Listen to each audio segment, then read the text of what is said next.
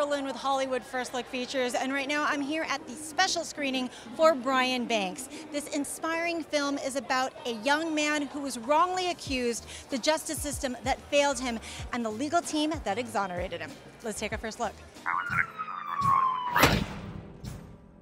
When I was young, it was hard to see a way out. Football gave me an option. The time I was 16, I had the attention of the NFL. The sky is the limit for this kid. So what happened? Why don't you play anymore? Brian Banks was 16 years old when he was accused of a crime he did not commit. He lost 11 years. Scholarship. He was prevented from playing football. The system is broken. We have 10 months to clear his name. If in that time they do not overturn your conviction, you'll be a prisoner again.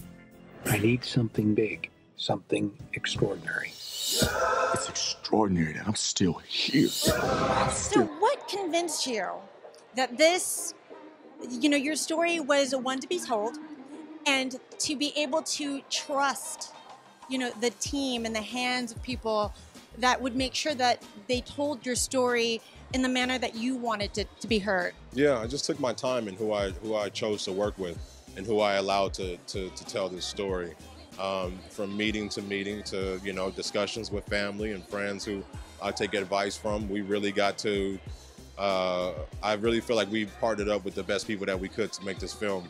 Uh, Amy Baer and Gidden Media and Shivhans Pictures and Bleecker Street and Tom Shadyac as our director. This is a powerhouse of amazing people who, who understand the story and gave it real, true justice. You know, Leomia is a quiet, understated hero, and just to her faith is what attracted me to the script. Her her fight, her belief in her son, no matter what anybody else said. I have a 14 year old child who could very well be a Brian Banks, and and you know, watching Leomia and through the script be the backbone to her son's sanity. He was she, he was she was the reason why her son why Brian kept his sanity. She drove three and a half hours to and from prison for five years. She wrote him a letter every day. Like to to see this mother's love, I said, Oh my gosh, I have to play her. So to be able to give her a little bit of homage and, and honor her side of the story is a blessing to me.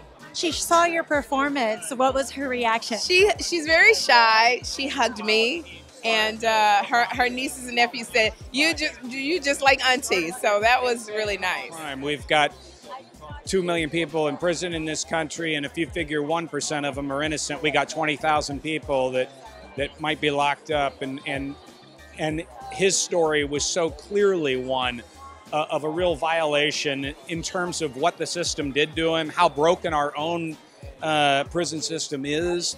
And just kind of a call to arms, I think, for everybody to, to consider what happens when somebody falls into this thing, especially if they're wrongly accused.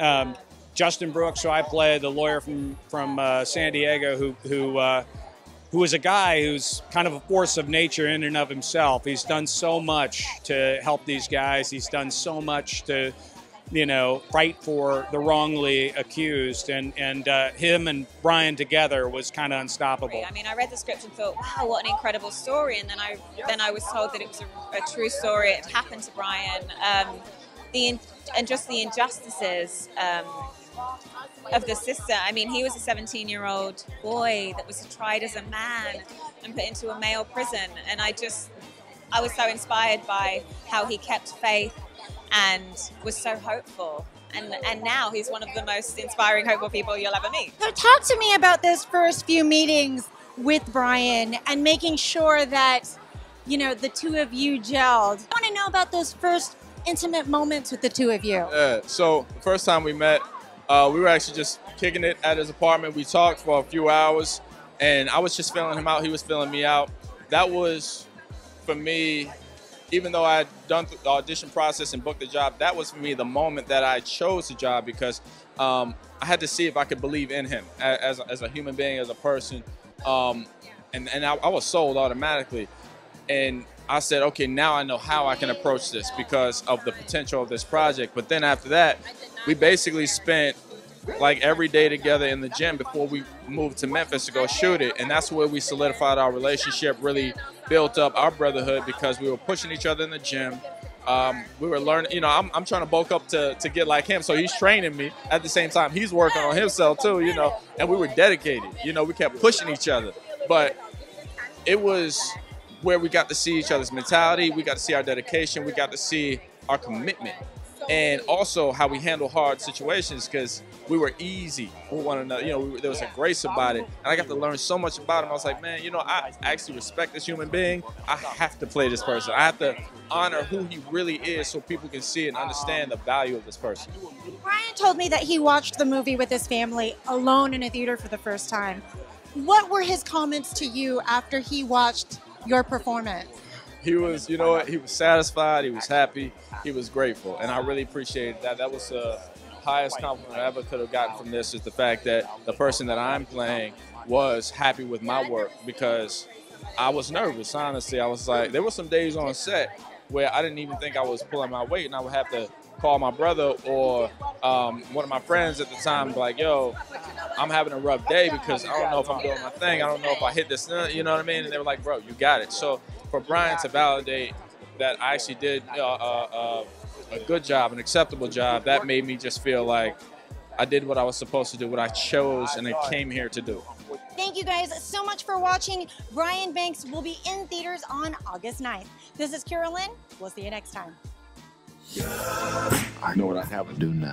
My son is innocent. They tried to count me out. You think you'll get another shot at the NFL? Trust me, we got a plan. It's not. I am innocent, and the truth matters. I know the system doesn't care about me. But you didn't deserve what happened to you. Brian's gonna run out of time. It's not over. I'll tell you what's extraordinary. I am